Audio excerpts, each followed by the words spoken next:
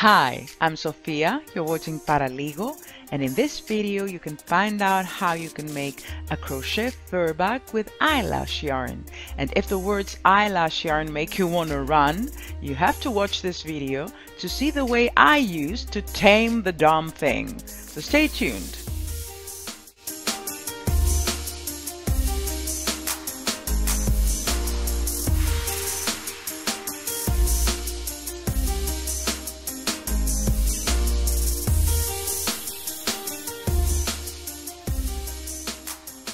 Supplies list.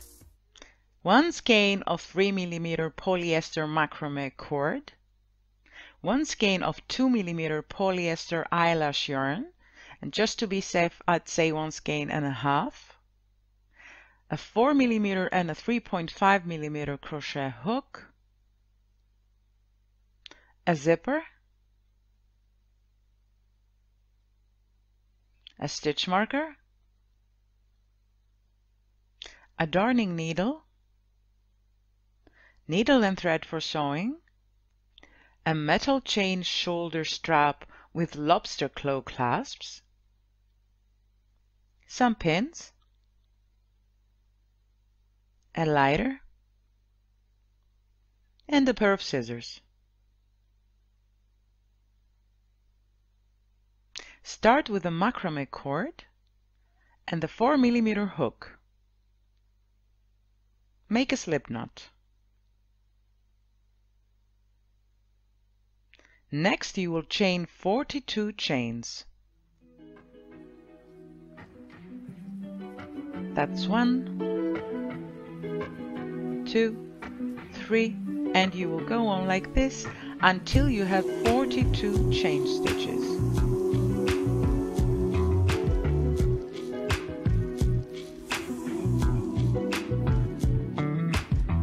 Now insert into the second chain from your hook and place a single crochet. Mark this first single crochet with a stitch marker. Place a single crochet into the next stitch, the next chain.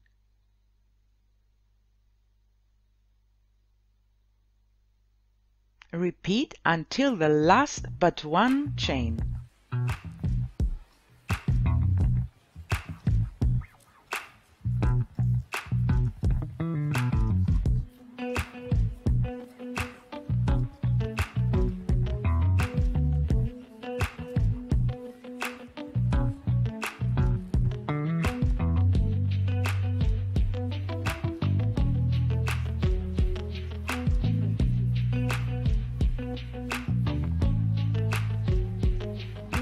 Finally reached the end of the chains. And now we will place three single crochet into the last chain.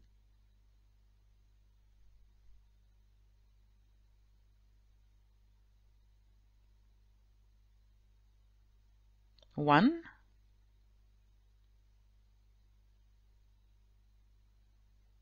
two,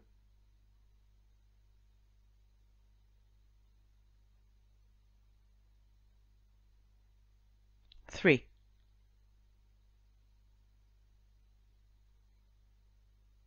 Continue placing single crochet into the bottom loops of the original chain. In other words, working the first round around your chain. So insert into the next stitch and place a single crochet. Make sure to place the tail on top of your hook to carry along.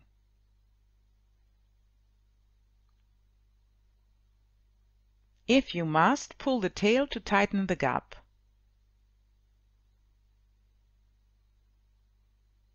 Place a single crochet into the next stitch.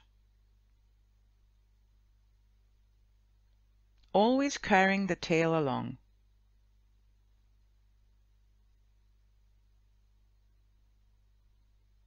Repeat into the next stitch.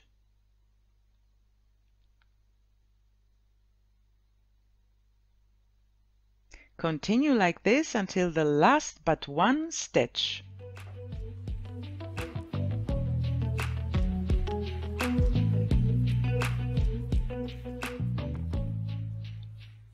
Here we are, only one last stitch left and we will place 3 single crochet into this last stitch. 1 two,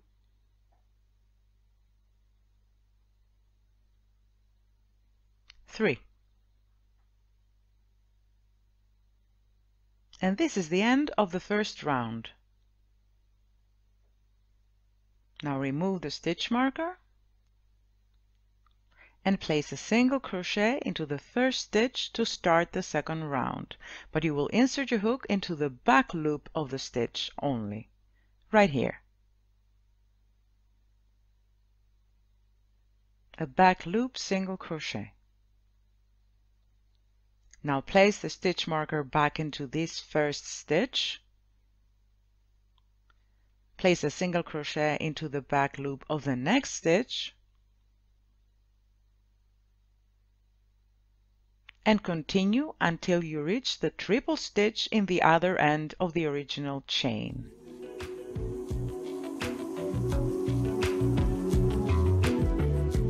Here we are right where we placed our first triple stitch on the previous round and we will place two single crochet in each of these three stitches back loop only. One, two, one,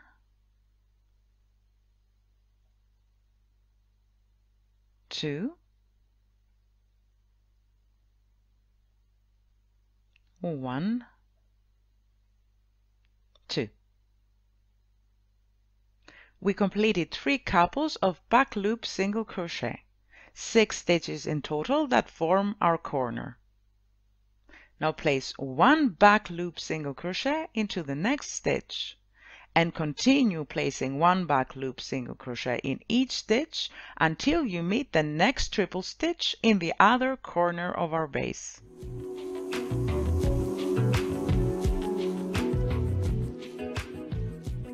We reached the other corner and as before we will place two back loop single crochet into each of the three stitches of the bundle.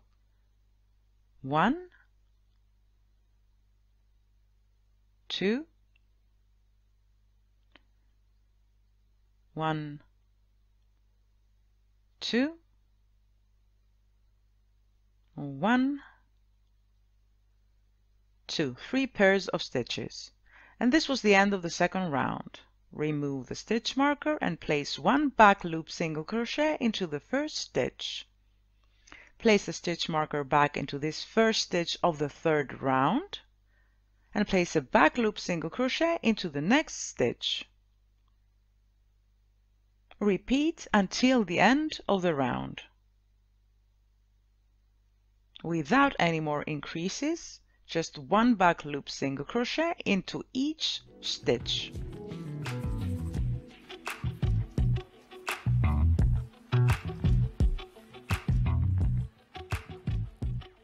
Almost reached the end of the third round.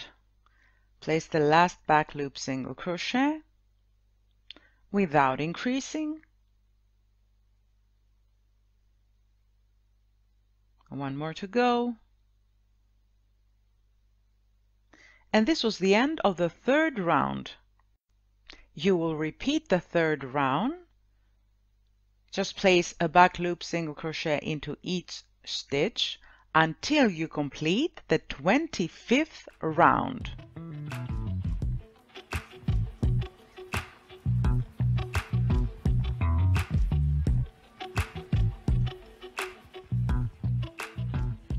So that this narrow oval base will, round by round, transform into a pouch.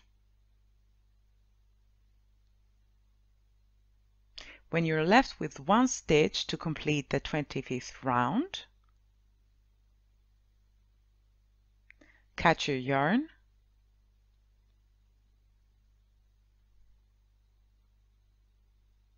fasten off,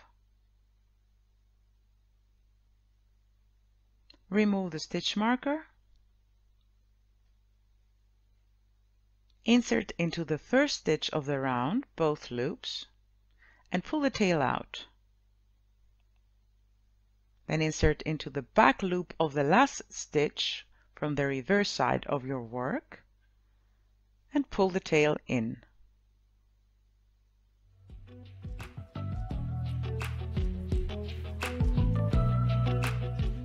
Then thread the tail to your darning needle and weave it in at the reverse side of your work.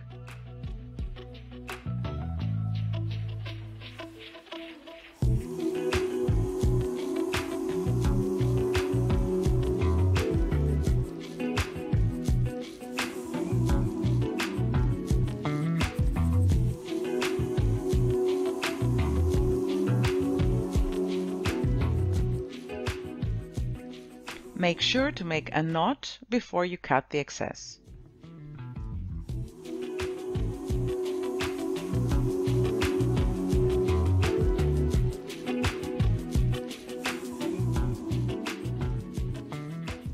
Finally, burn the end with a lighter.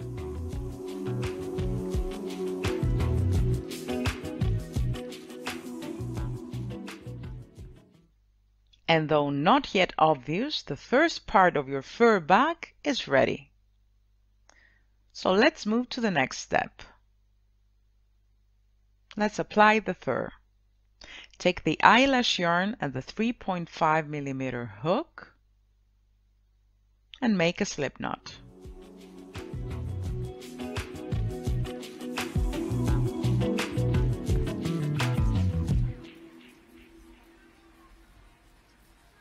Go to the right corner of the base and trace the beginning of the first round. It's easy to identify each round from these oblique loops. They are the front loops from each round that we left unworked. We will work them right now. So next spot the first loop of the round but to be honest, even if it's not the actual first one, it's not big a deal. Just insert your hook into one of the front loops of the corner, yarn over, pull a loop, yarn over again and pull through both loops on your hook. A single crochet. Do the same into the next loop. It's a bit of a mess with all that hair in the way, but you'll get used to it fast. So insert your hook into the next loop and bring the tail on top of your hook to carry it with you. Yarn over, pull a loop, yarn over again and pull through both loops on your hook. Repeat into the next loop. Insert your hook, bring the tail on top of the hook to carry and place a single crochet. To avoid what just happened, make sure to work really loose because the truth is that if your open loop slips from your hook, it's really hard to trace. So this is the way you will continue to work the entire bag. By placing one single crochet into each loop, working in the round and once you get rid of the tail everything will be much easier.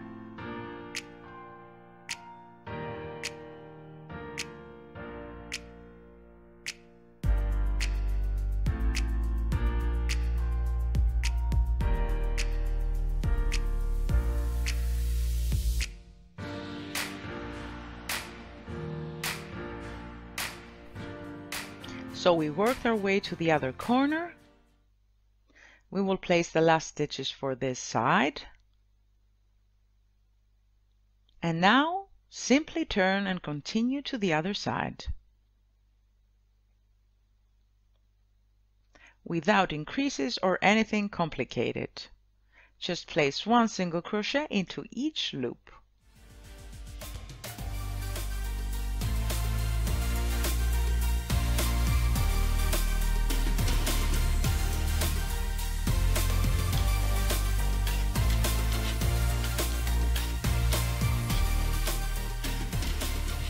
Continue like this all the way around.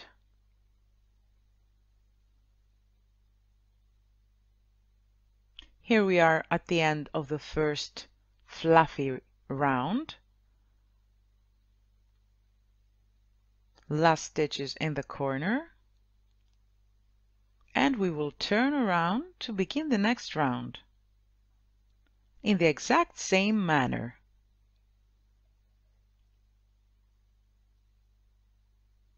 Insert into the next loop and place a single crochet.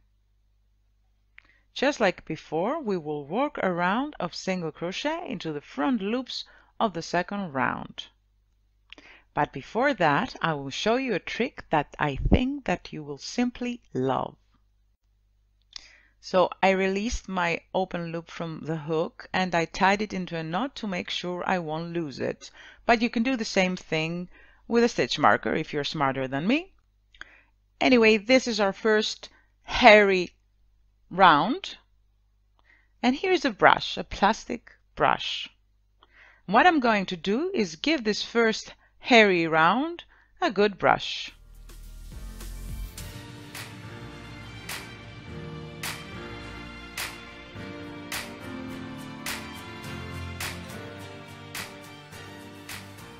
I swear I could do this for hours, but I will restrain myself and here's how our first round looks after the hair salon. Quite impressive, isn't it?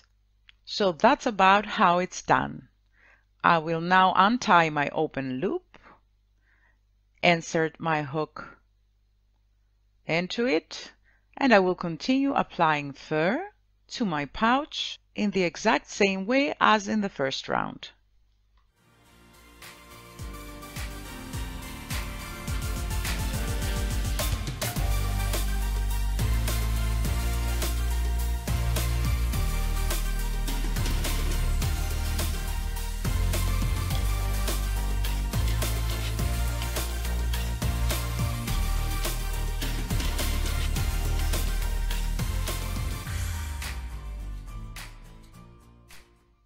And after 20 rounds, your pouch will look like this. Let me secure my open loop to show you. Ta-da! Now you could stop here, leaving a border of four or five rounds, or you can work your way to the top. That's a matter of taste. I will go all the way up, but before that, I would like to point out that working with the eyelash yarn though might seem terrifying, it's actually quite forgiving because even if you skip an entire round, the result is so rich that you won't be able to tell.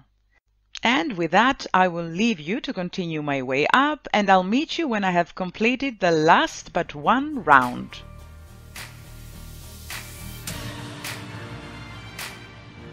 So here I am, last stitches of the round.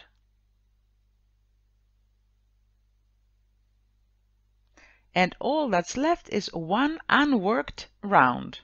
And here is where I stop. So now cut the yarn, fasten off, thread your yarn to the darning needle,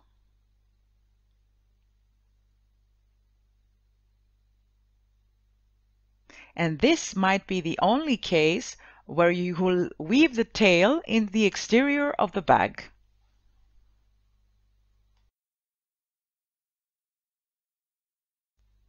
And you will hardly need to make any knots to secure it.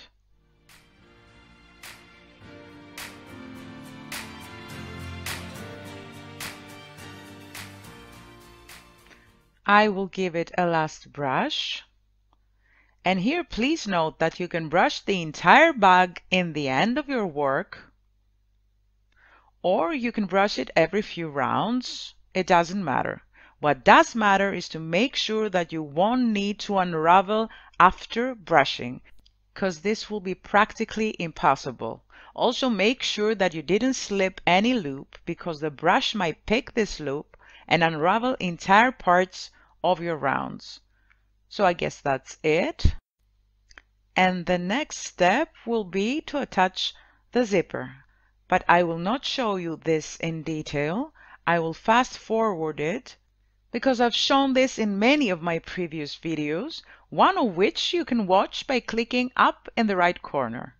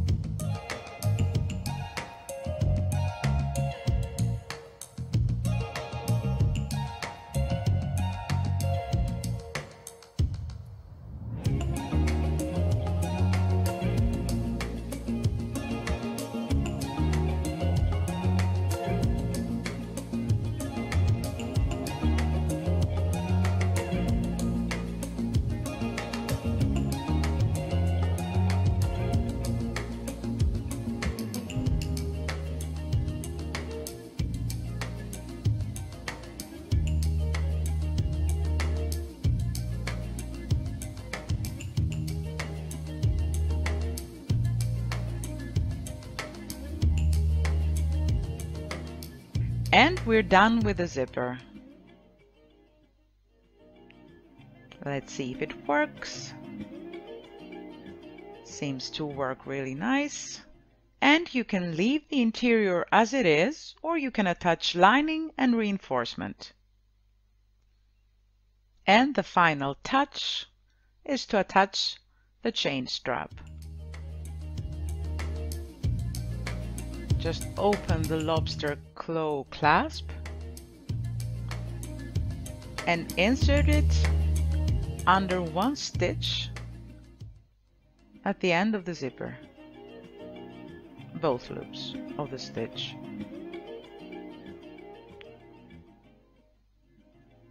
And repeat at the other end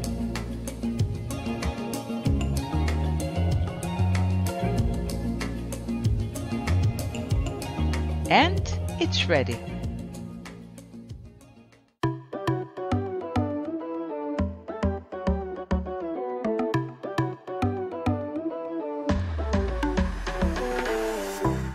My beloved viewers, thank you so much for staying. If you liked what you watched, give us a thumbs up, make a comment and share. If you're new to this channel, please subscribe and click on the bell to get notified for new videos. To get the written pattern of this bag and many more, visit paraligo.com. Until next time, take care. Mwah!